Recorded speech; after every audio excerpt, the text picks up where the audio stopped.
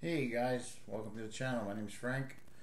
Um, I'm kind of all over the place with things I do, but I wanted to do something today um, about the Toro Time Cutter. I have a, it's a newer one. It's like a 21 or 22. It has a, I think it's 22, and it has a uh, three-year warranty on it. It's 52 inch cut. Um, nice machine. Um, last time I parked it, it just wouldn't start. Now I've, I've scanned the internet on everything, and I think only one person you know, found my problem. Um, I did my battery, charged it up, made sure, of course, start with the battery, then try the solenoid, then try, you know, you move on to the starter is kind of your last thing. But um, in my case, it was really weird. I it kept fooling me somehow by thinking I, I was like running it right from the battery to the starter, and still nothing was happening. So I'm assuming my starter locked up. The battery showed as soon as I started, start showing 13.7. So amazing charge. So that rolled out the battery, move on to the solenoid, tried jumping the solenoid, and still nothing. This is where it really started. I couldn't understand. So I replaced the solenoid. Even my friend who's a good mechanic in the neighborhood came over and um, said, look, man, look, replace the solenoid. That's what we need to do. So I replaced that. Still nothing. Oh my God, what's happening right now? So I move on to the starter. Maybe the starter's locked up. Um, because when I took the cowling off the top, the Bendix was still engaged. So I thought maybe it burned up the starter, so I replaced that. Still nothing.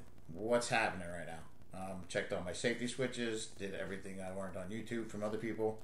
Um, and thank you, you all, for that as well, for helping out because I don't know what I'd do without YouTube University, but um, that's why I like to give back myself. But only one guy really hit on the, the what my problem was, and he kind of breezed over it. But believe it or not, the last time I, I pull it in, I park it, I come back a week later, nothing.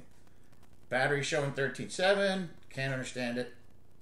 So, um, I started to catch on when every time I try to start it, the battery would drop to like 10 volts. So I was like, okay, so I charged it up some more. I actually even put it on start, you know, to start it. Um, you know, with your battery charger, to, and nothing would happen. I'm thinking that would least start it. If you wanted to like jump in a car, you figure you jump your on where it would start. But you know, I'm not a mechanic. Never claimed to be. As a matter of fact, I can screw up anything. I can. I'm, I should not have no business touching a wrench. But uh, this was actually pretty easy work. The starters, the only you know one bolt to undo the starter line, you know the uh, hot power to the starter, and then the two bolts holding it to the crankcase. That's all there is. And uh, on mine, the um, solenoid was a little tricky. It was tough to get to. I couldn't get my big meat hooks in there, and um, yeah, that was a bit tricky. I didn't really enjoy changing that out, but um, I did it. Um, come to find out that all I did was change the battery, and that was it. So what you do is get your battery. If you're having problems like this, the first thing you do when you're checking your battery, your first step, check your battery.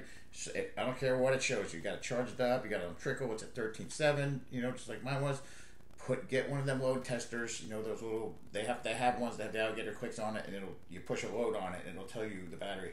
Mine wasn't even registering; it was showing this amount, but you know when I brought it in to have it tested, it was just it was too flat to even test. So the the, the battery was a brick; it was absolutely doing nothing.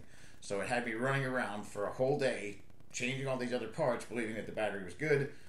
When if I had just put that load tester on the battery, you know, it would have dropped the battery down, you know, from 13.7 to 10 right there, you know that's not good and it's your battery. So that's my story. And so you don't have to go through everything I went through all day.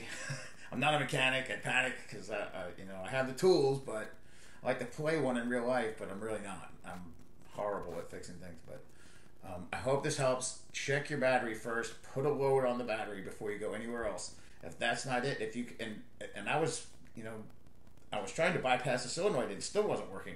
So that's a that's a clue. You know, you bypass your solenoid, and short of your starter being locked up, it's probably your battery.